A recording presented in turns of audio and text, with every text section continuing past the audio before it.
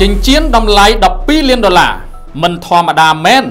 តើតារាចម្រៀងលំដាប់អន្តរជាតិម្នាក់ណាពាក់ចិញ្ចៀនពេជ្រមានតម្លៃដល់ទៅជាង10លានដុល្លារអាមេរិក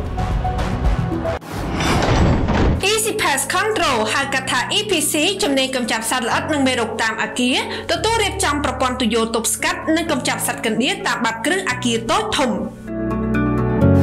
ក្រុមហ៊ុន TGN Cosmetic អាចកំបាំងថែ រក្សាសម្រស់បែបធម្មជាតិមានស្តង់ដារនិងមានសុវត្ថិភាពដល់អ្នកប្រើប្រាស់ប្រើមិនត្រូវធានាសងលុយវិញគ្រប់ចំនួន TGN អាចកំបាំងថែរក្សាសម្រស់បែបធម្មជាតិពិតពិត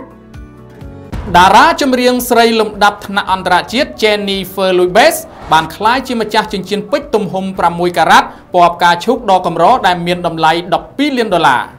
នាងបានបង្ហាញខ្លួនជាសាធារណៈជាមួយលោក Ben ជាគូដណ្ដឹងដែលបានភ្ជាប់ពាក្យជាមួយគ្នាតាំងពីឆ្នាំ2004មកម្លេះអ្នកនាង Jennifer Lopez គឺជាតារាស្រីលំដាប់ថ្នាក់អន្តរជាតិដែលមានចិញ្ចៀនអាពាហ៍ពិពាហ៍ថ្លៃបំផុតក្នុងចំណោមតារាអន្តរជាតិ20នាក់ផ្សេងទៀតដែលមានចិញ្ចៀនអាពាហ៍ពិពាហ៍ថ្លៃបំផុតដូចគ្នា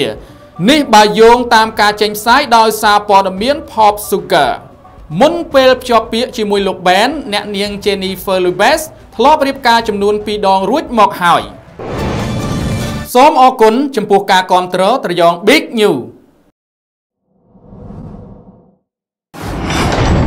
Easy Pass Control ហៅកាត់ថា EPC ជំនាញកម្ចាត់សត្វល្អិតនិងមេរោគតាមអាគារទទួលរៀបចំប្រព័ន្ធទុយោទប់ស្កាត់និងកម្ចាត់សត្វកណ្ដៀរតាមបាតគ្រឹះអាគារតូចធំក្រុមហ៊ុន TGN Cosmetic អាចកំបាំង